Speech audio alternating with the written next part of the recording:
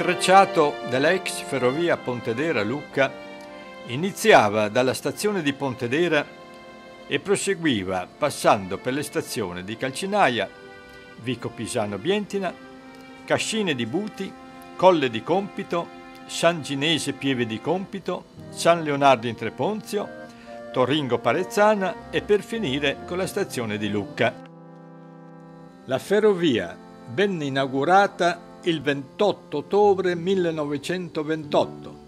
Il convoglio inaugurale fu trainato da due locomotive a vapore, tutte infiorate e imbandierate, che partirono dalla stazione di Lucca alle 10 del mattino.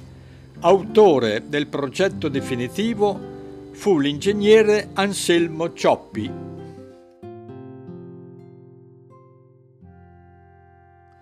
Uno dei principali costruttori della linea fu l'ingegner Pier Lorenzo Parisi. I lavori iniziarono il 15 maggio 1922 sotto la sorveglianza del Servizio Costruzione della Direzione Generale delle Ferrovie dello Stato. Il nostro viaggio alla riscoperta della linea ferroviaria Lucca-Pontedera ha inizio dall'attuale stazione di Pontedera Casciana Terme.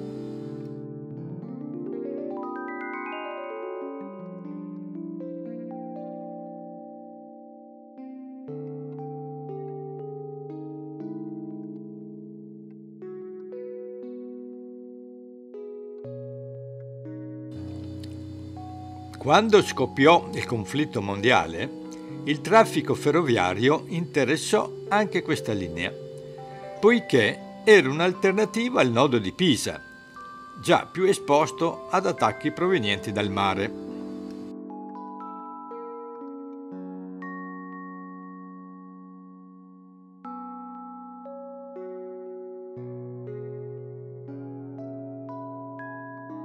Il 31 agosto 1943 il nodo di Pisa fu completamente devastato da un bombardamento aereo e la nostra linea divenne fondamentale per ricucire i movimenti ferroviari lungo la costa tirrenica.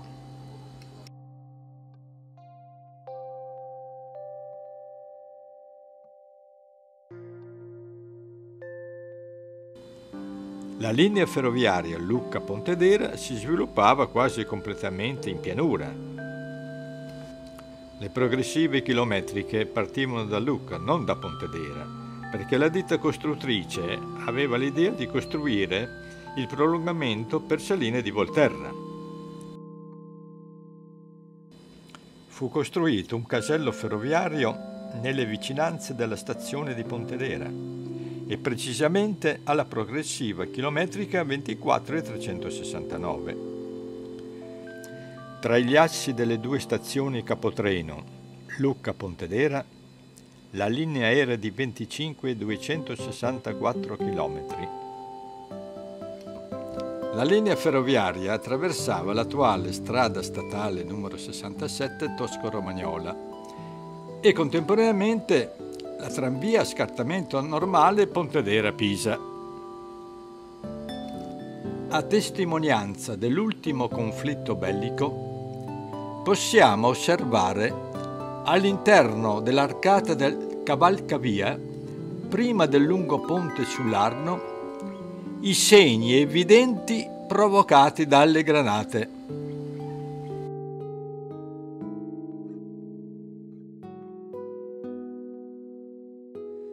Attraversato il fiume Arno, sul grande ponte, a sei archi a sesto ribassato, di 21 metri e 50 di luce ciascuno, la ferrovia incontrava la prima stazione, dopo la principale di Pontedera, quella di Calcinaia alla progressiva chilometrica 22 e 231.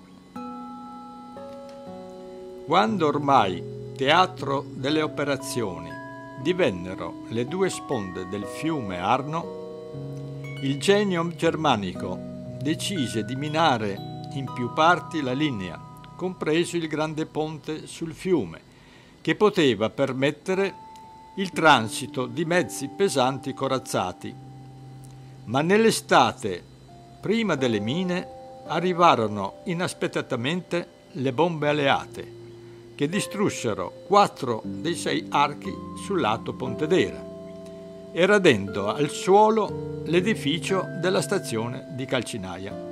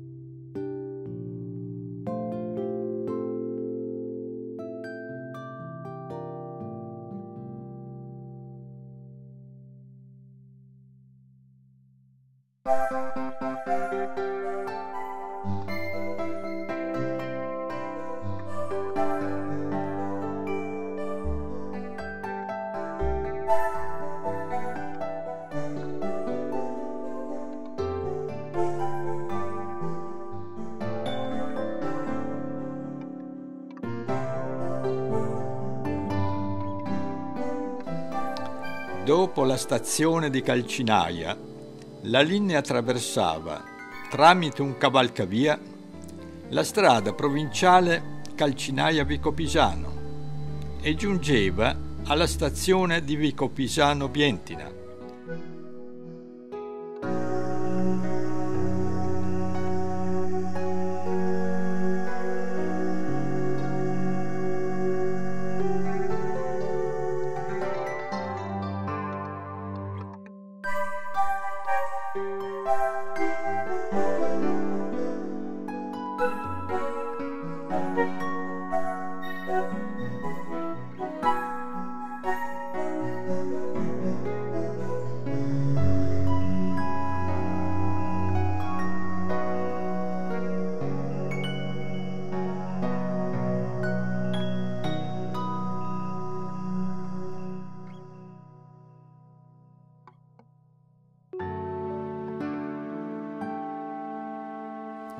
Nella primavera del 1944, durante un ennesimo attacco aereo alleato, fu colpito un treno carico di munizioni fermo alla stazione di Vico Pisano Bientina, che esplose, distruggendo lo scalo merci, ma lasciando praticamente illeso l'edificio della stazione.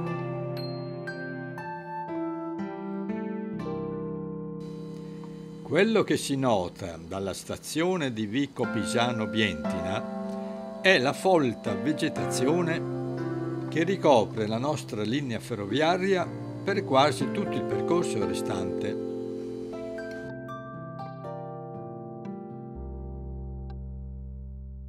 La ferrovia, dopo aver attraversato il canale emissario bientinese su un ponte obliquo a travata metallica di tre luci, giungeva alla stazione di Buti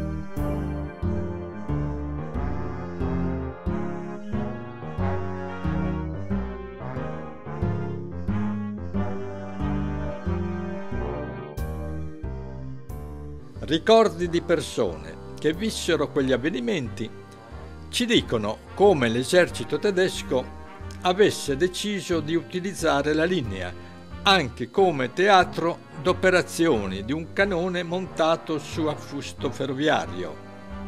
In un primo momento e per brevissimo tempo comparve il famoso canone tipo Leopold, poi spostato nella zona di Anzio. Successivamente, quando era ormai chiaro che l'avanzata dell'esercito statunitense si sarebbe assestata sulla riva dell'Arno, l'esercito germanico mise in funzione un secondo cannone, chiamato dalla popolazione di allora il Canonissimo. Il cannone era montato a bilico su due carrelli a cinque assi ciascuno. Quando era inoperoso, le truppe tedesche nascondevano il treno nel tratto centrale della linea, nei pressi della galleria subalvea, e veniva spostato fin nei pressi della stazione di Toringo Parezzana, da dove, ben protetto da improvvise incursioni aeree dal Monte Serra, riusciva a colpire la costa e l'entroterra livornese con micidiali bordate. Si comprende così con quale accanimento l'aviazione alleata cercasse di mettere fuori uso il treno oppure la linea.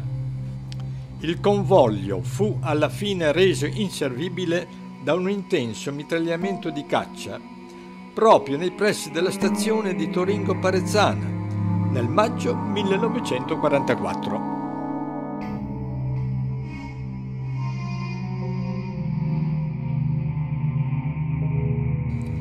Alla progressiva chilometrica 11,986 si sottopassava il torrente Visona di Castelvecchio, il cui alveo è pensile sulla campagna circostante.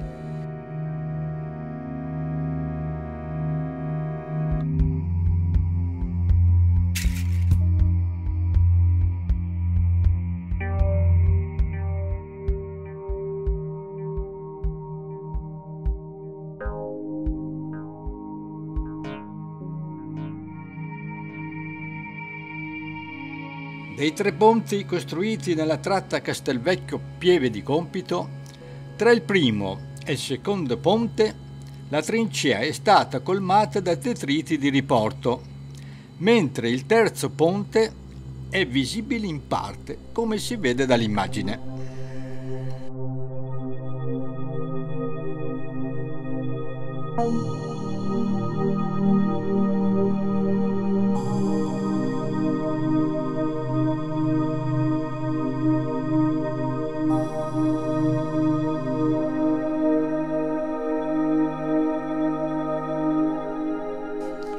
Successivamente la linea raggiungeva la stazione di Colle di Compito, attualmente ceduta a privati dalle ferrovie dello Stato, e una curva di 100 metri di raggio portava la linea alla stazione di San Ginese Pieve di Compito, anch'essa ceduta a privati.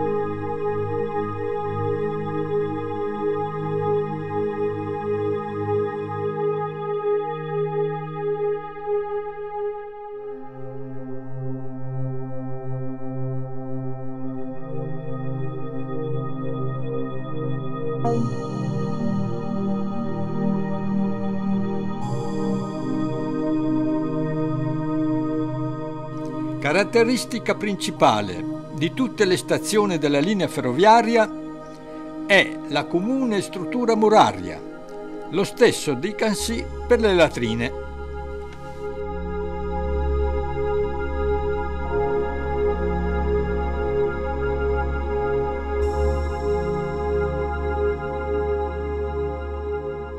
Come appare allo stato attuale, uno dei caratteristici pali telegrafici della ferrovia nella stazione di San Ginese.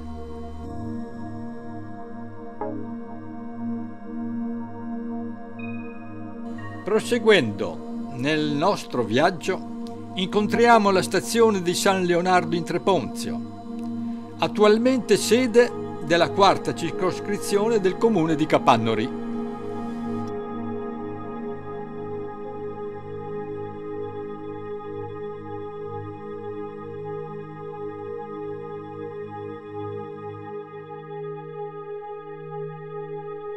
Dopo la stazione di San Leonardo in Treponzio, la linea proseguiva e attraversava la strada nel comune di Massa Macinaia, con un ponte ad impalcatura metallica di 7 metri di luce.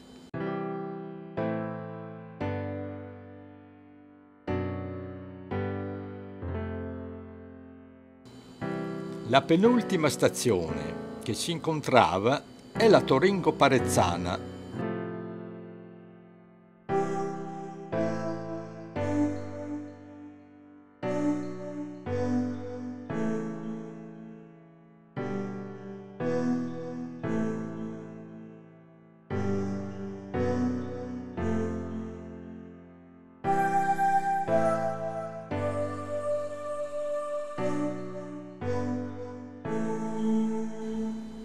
Procedendo verso Lucca, l'esercito tedesco completò l'opera facendo saltare d'arte tratti di binario e i principali ponti, primi fra tutti i ponti obliqui sul canale Rogio e sul canale emissario bientinese.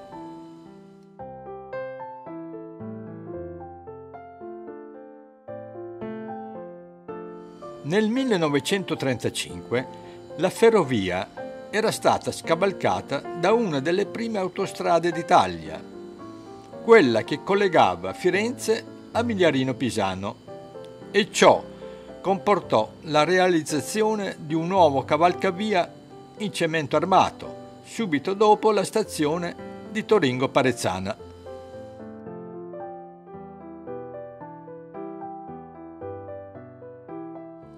Al termine del conflitto la ricostruzione iniziò proprio dai due ponti metallici, dei quali fu posato nuovo soltanto quello sul canale Roggio iniziando a recuperare quello sul canale emissario, mentre si prevedeva di ultimare la ricostruzione totale nel giro di tre anni.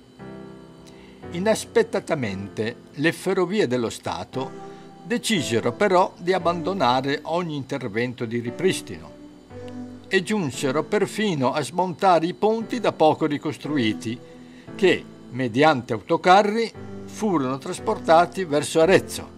Di pari passo, l'armamento ancora presente fu sistematicamente smontato e utilizzato per riparare la linea per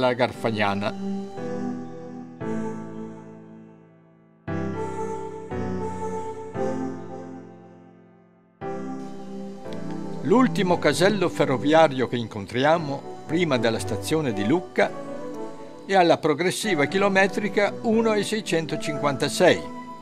Da questo casello è visibile attualmente la tratta finale della nostra linea che oggigiorno è adibita a scopi industriali